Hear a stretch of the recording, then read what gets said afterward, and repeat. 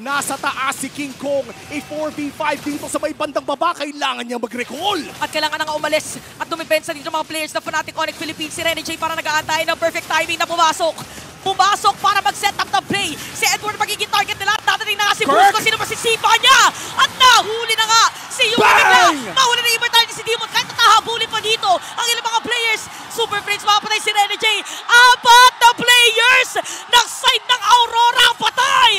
The next standard na lang ang dedepensa at tumatakbo na ang mga Sonics. Winawagayway na ang mga dilaw na bandera ng Fnatic. Naririnig yat natin ngayon ah, ang sigaw ng mga Sonics. Ito na ang pinaka-inaantay nila. Ang pinaka-inaantay nila. Ito na ang pagsisimula ng pag-usbong ng bagong siglo. Ito na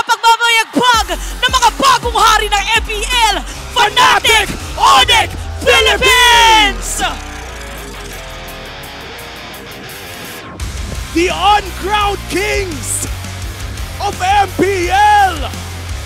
Finally! Sa wakas, kampiyon na si Kenra! From uh, give Samno a trophy to give Kelra a trophy. Nandito na ngayon. Oh! Ramdam na ramdam natin ang aksyon, ang emosyon ng MPL at ang kasiyahan ng mga Sonics na nanonood ngayon.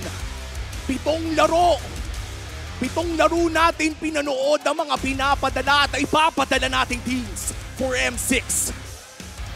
anim na weeks ng regular season at limang araw ng playoffs. And this is it. Ang panapos ng sering ito, isa o baka nga hindi isa. Ang pinakamagandang serye. Ang pinakamagandang Grand Finals. At ang unang kampyonato ng Gold Standard. What a game!